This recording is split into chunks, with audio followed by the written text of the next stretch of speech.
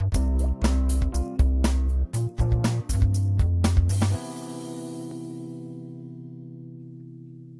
this is Mike Callahan, Dr. FileFinder, and welcome to your Butterscotch.com tutorial on how you can disable hibernate mode on your Windows 7 computer.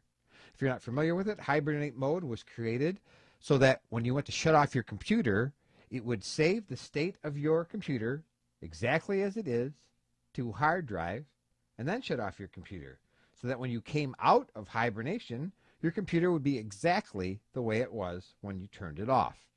Hibernate mode uses a lot of disk space, so in order to disable it, if you aren't going to use it, click on Start, All Programs, go to Accessories, click on that, find Command Prompt, right click, select Run as Administrator,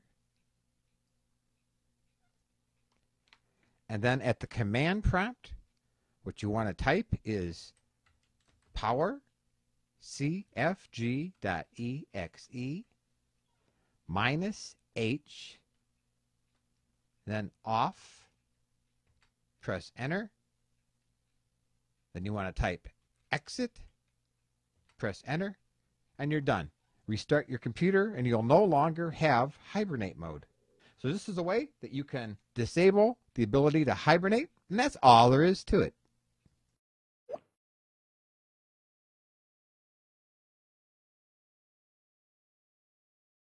Hey, this is Doc.